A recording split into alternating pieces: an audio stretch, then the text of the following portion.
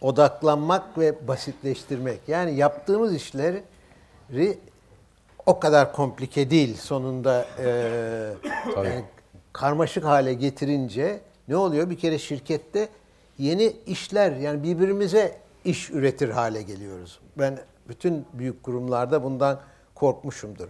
Yani insanlar mümkün olduğu kadar müşteri ve iş işte şantiye neyse satış orada kümelenecek. Birbirimize rapor üretmek, birbirimize laf, birbirimize sunum üretmek minimize edilecek. Ve işte hedefler de e, 3-5. Ben geçenlerde işte şirketlerin yönetim kurullarında görüyorum.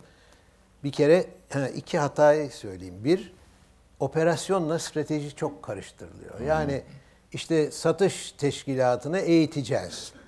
Bilmem e, e, ya şimdi eğitmemek bir strateji olamaz. Yani eğit, daha bilmem neyi güçlendirecek. E, alternatifine zayıflan zayıflatmak mı değil.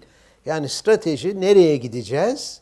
Ondan sonra nasıl gideceğimizin şeyi onu da 3 5 14 tane priority gördüm. Strateji diyor. Strategic priority 14 tane.